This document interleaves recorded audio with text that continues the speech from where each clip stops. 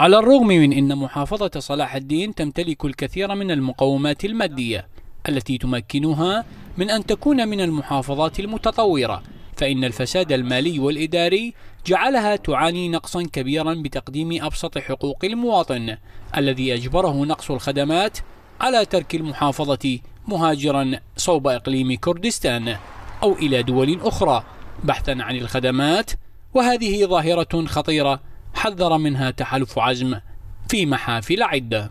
بسبب الفساد الإداري والمالي المستشري في مؤسسات الدولة أدى ذلك إلى نقص كبير في قطاع الخدمات المتعلقة بالطاقة الكهربائية والماء الصالح إلى الشرب والقطاع البلدي والنقص في المتنزهات والأماكن الترفيهية.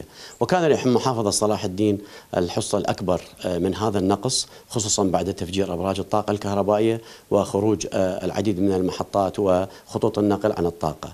أدى ذلك إلى نزوح العديد من العوائل في هذه الفترة بالذات إلى أقليم كردستان وإلى المحافظة وإلى الدول الأخرى. مواطنون أكدوا أن وضع المحافظة من سيء إلى أسوأ في ظل استمرار الأسباب ذاتها التي أدت إلى استشراء الفساد.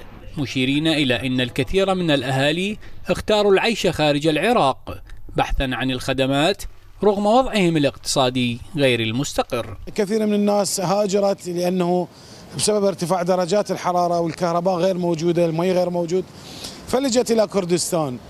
منهم من باع حتى بيته وأملاكه ولجأ إلى إقليم كردستان بسبب هاي الأوضاع.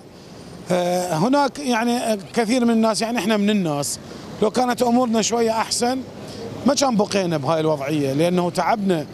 الأطفال تعبت النساء تعبت. ويؤكد مختصون وجود عشرات المشاريع الخدمية المتوقفة في صلاح الدين التي نخرها الفساد المالي.